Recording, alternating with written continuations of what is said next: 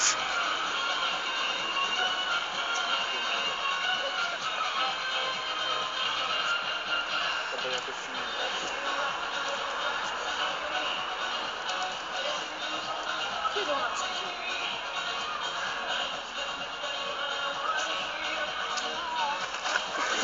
Jezu, dzieciutko!